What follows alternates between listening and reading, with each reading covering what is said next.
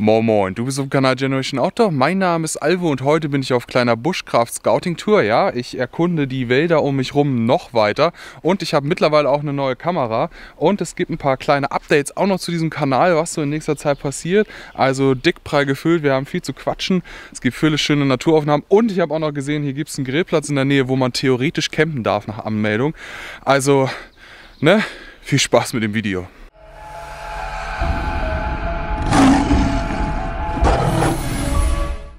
Wo man singt, dort lasst sich nieder, denn böse Menschen haben keine Lieder.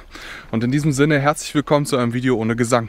So, meine lieben Freunde, fangen wir mal mit dem wahrscheinlich mit wichtigsten an. Ich habe meine Kamera geändert und zwar habe ich jetzt keine Canon 750D mehr, EOS 750D, sondern eine Canon EOS M50. Was bedeutet das jetzt für alle, die sich jetzt nicht mega mit diesem ganzen Kamerazeug und so auskennen? Also die Kamera, die ich jetzt habe, ist ein bisschen besser ja, als meine alte Kamera. Also sie ist vor allen Dingen funktionabler. Ja. Sie nimmt in 60p, also kann in 60p aufnehmen. Sie kann auch 4K aufnehmen, was wir heute uns noch alles angucken. Bedienbarkeit, ja, Autofokus, alles tausendmal geiler und ist dabei nur halb so groß. Denn wäre sie genauso groß geblieben, dann, selbst wenn die Kamera jetzt natürlich ein bisschen besser ist, hätte ich dafür nicht nochmal, wie habe ich jetzt ausgegeben, 600 Euro ausgegeben, weil das ist schon ein ordentlicher Batzen Geld. Aber bis jetzt bin ich mit der Kamera ganz äh, zufrieden und ich mache diese Ansage sozusagen am Anfang, damit ihr vorbereitet seid. Ja? Ich filme jetzt zum Beispiel gerade mit Autofokus. Das ist eigentlich etwas, was ich mir abgewöhnt habe, ja, weil ähm, ich fand das immer ein bisschen anstrengend mit diesen Pumpen. Ja? Ich möchte mal ausprobieren, wie das so ist. Später werde ich noch ähm, ein Stück in 4K aufnehmen. Ja? Das heißt, ähm, man wird dann halt sehen, ja, die, die es mit dem Internet gucken können, ich weiß ja, Deutschland ist leider ein bisschen weit hinten, was so Internetgeschwindigkeiten ist. Ähm, die können sich dann angucken. Ja. Für die anderen bleibt es dann in 1080 oder was weiß ich. Ja, und jetzt will ich dieses ganze Setup einfach mal ein bisschen ausprobieren. Ist natürlich ein bisschen blöd, weil eigentlich habe ich ja gerade ein Video rausgebracht, in dem ich gezeigt habe, wie ich so filme. Ja, Link findest du hier oben auf den kleinen Ausrufezeichen. Einfach mal angucken, ja, wenn dich das interessiert, wie überhaupt so ein ganzes Video entsteht. Ähm, aber in dem Video habe ich auch schon gesagt, dass ich die, die EOS austauschen will, ja, gegen eine neuere, kompaktere Version. Und ich sag mal so, im filmerischen Ablauf ändert sich eigentlich fast gar nichts, außer dass ein paar neue Funktionen hinzukommen die Farben, Kontrast, Autofokus und sowas für euch halt besser wird. Ne? Ja, wo bin ich jetzt hier unterwegs? Ich bin immer noch in dem kleinen Waldstück, wo ich jetzt schon zwei, dreimal gefilmt habe, an dem See, ja, wo einige Bilder für Instagram und so entstanden sind. Einfach mal vorbeischauen. und ähm, ja, hier gibt es aber jetzt noch so einen Bereich, ja, der ähm, hinter sozusagen Bahngleisen ist. Und da bin ich jetzt gerade und ich muss sagen, hier ist es noch ein Ticken ruhiger und hier sind noch weniger Menschen. Und ich fühle mich hier fast ein bisschen wie an den Schwarzwald erinnert. Ja, also mit den ganzen Fahnen, hier gibt es gerade ein bisschen Aufstieg. Deshalb bin ich auch ein bisschen schwer am Atmen. Aber auch an sich, die Pollen setzen mir gerade ein bisschen zu. Ja, aber so ist das halt. Genau, und was ich vorher noch angesprochen hatte, hier gibt es eine kleine Feuerstelle ja, von einem Verein betrieben. Und ähm, ja, da kann man erstens mal ein richtiges ähm, Camping anmelden sozusagen. Ja, also erstmal das ohne Zelten kann man anmelden auf jeden Fall. Kostet irgendwie 10 Euro und kann man sich damit ein paar Leuten einen geilen Abend machen, weil da eine offizielle Feuerstelle ist und so weiter. Auf jeden Fall etwas, was ich mal nutzen werde mit Freunden. Und darunter stand auch noch äh, Camping mit Übernachtung nach Absprache. Das heißt ja, dass das grundsätzlich anscheinend erlaubt ist. Ja, an diesem Platz beziehungsweise hier in der Nähe irgendwie zu campen. Ich werde mal versuchen, da mit dem Verein und dem Forstamt ein bisschen ähm, Kontakt aufzunehmen, ja, damit ich nicht so wie damals, als ich noch in, damals, als ich noch in Hamburg gewohnt habe, oh, das ist eine Bank, das, äh, das finde ich angenehm. Da war ich ja immer äh, gezwungen, ja, in Naturschutzgebieten unterwegs zu sein. Wobei man dazu allerdings auch sagen muss, Naturschutzgebiete waren mehr Vogel- Schutzgebiete und zwar nicht für ähm, Bodenbrüter, sondern für die zum Weiterziehen, weil die Naturschutzgebiete, zum Beispiel die Boberger Niederung, ja, ob da man viel Naturschutz betreibt, ich weiß es nicht genau, weil eigentlich das ist ein Segelflugplatz, da gehen ähm, Pferdewege mittendurch, ja, da fahren ständig Fahrradfahrer. Ähm, es ist eigentlich zu einem Drittel ist das Wegfläche, ein Drittel ist Wasser und das andere Drittel ist ähm, höchstens mal Natur.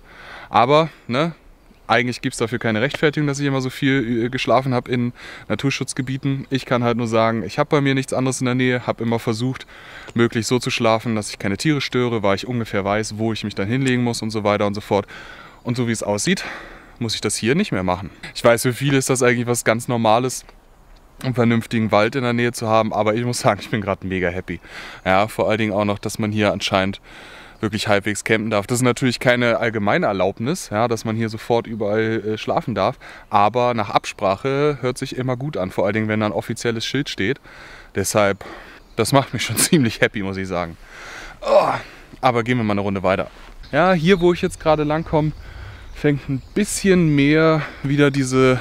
Oh, schön. Hier fängt wieder ein bisschen mehr ähm, dieses Fichtending an, ja, dieses Fichtenmonokultur-Ding. Aber es ist eigentlich keine Monokultur, ja. Klar, hier ist jetzt mal wieder so ein Bereich, wo eigentlich nur Fichte steht, aber das ist an sich nicht schlimm. Ja, hier stehen überall, da steht eine fantastische, ich glaube, es ist eine Buche, ja, die ist riesig groß, finde ich klasse. Also zu meiner Linken sieht der Wald irgendwie äh, diverser aus, ja, also mehr verschiedene Baumarten und zu meiner Rechten eher ein bisschen nach Monokultur. Naja, beides finde ich auch nicht schlimm. Ja, wenn beides zusammen auftritt, sozusagen, dann habe ich da kein Problem mit. Ich muss natürlich sagen, ich mag ähm, diese, ich nenne sie mal liebevoll, Autobahnwälder nicht. Ja. Ihr wisst, was ich meine, diese total toten Monokulturen, ja, wo auch gar keine Ranke mehr auf dem Boden ist, nichts, ja, wo absolut, also Plantagen im Prinzip, ja, sind für mich Autobahnwälder, weil die immer links und rechts von den Autobahnen sind. Ganz viel. Vor allen Dingen bei A1. Da fährst du ja links und rechts die ganze Zeit, hast du diese Autobahnwälder. Naja, was soll man machen? Ja, und so wie das hier aussieht, bietet sich natürlich auch ein kleines Buschkraftcamp anzubauen. Ja, muss ich mal so sagen. Also wenn ich da so ein bisschen reingehe, da könnte ich gute Plätze finden. Ich muss mal gucken, wie das hier mit den Tieren ist. Ja. Nicht, dass ich die Keiler störe oder so, aber ich bin guter Dinge. Was kommt in nächster Zeit? Ähm, ich schaffe es im Moment noch nicht so richtig auf das Niveau zu kommen, für jedes Wochenende zwei Videos parat zu haben. Ja. Im Moment kommt pro Wochenende meistens Samstag oder halt Sonntag morgens ein Video.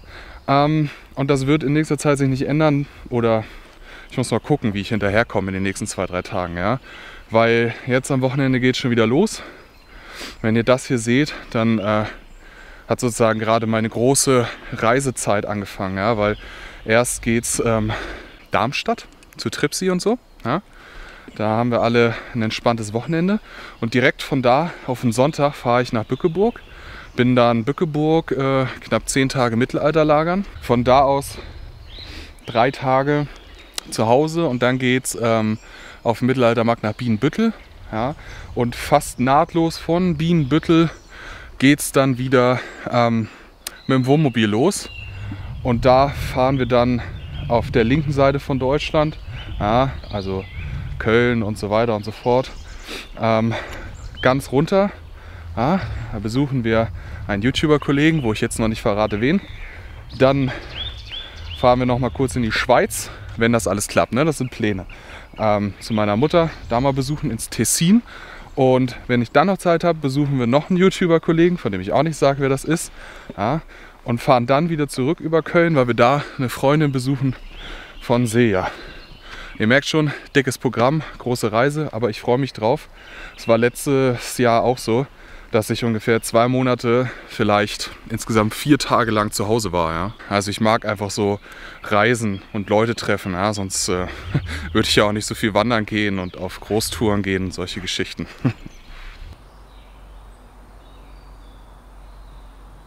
Übrigens, weil es so geiles Wetter ist und ich heute irgendwie so gute Laune hatte und immer noch hab und so ein Freiheitsgefühl, ähm, habe ich einfach beschlossen rauszugehen mit ähm, nur barfuß, ohne Schuhe und einfach mal zu gucken, wie weit ich komme.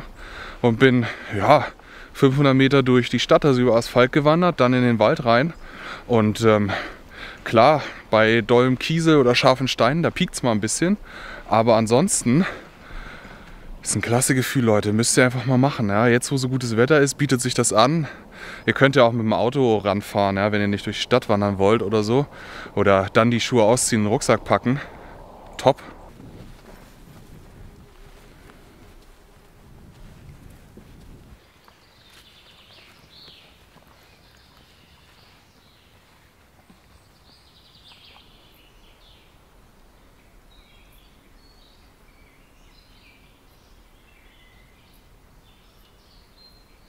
Ja, ihr seht schon, ich bin total happy. Nicht nur, dass ich einen Buschkraftplatz gefunden habe, meiner Meinung nach, ja, mehrere sogar. Ich muss das nochmal dann genauer angucken, ob sich das da eignet, wie viele Leute da vorbeikommen, sondern ich habe auch noch geile Chillplätze gefunden, ja, und mehrere geile Orte, um da zu drehen, also top. Die Kamera macht mir auch Spaß, ja. Es kann also eigentlich nur in Zukunft die besten Videos aller Zeiten auf diesem Kanal kommen. Bin ich mir auf jeden Fall ganz, ganz sicher. Ja, das war es auch schon mit meiner kleinen Scouting-Tour. Ich hoffe, es hat dir gefallen. Es war so ein kleiner Überblick hier, was in nächster Zeit kommt, ja, was gerade bei mir abgeht und welche geilen Naturplätze wir hier in nächster Zeit sehen, weil hier werde ich bestimmt öfter bivakieren ja, und zelten. Ich habe da noch ein paar kleine Experimente vor. Wenn du jetzt hier links auf die zwei kleinen Fenster klickst, kommst du noch zu anderen Videos von mir. Einfach mal reinschauen, ja, Empfehlungen von mir. Und ansonsten lasst dem Video doch ein Like da, abonniert mich, dann verpasst du keine Videos mehr. Wir sehen uns dann bei den nächsten Videos, hoffe ich zumindest. Bis dahin. just, just.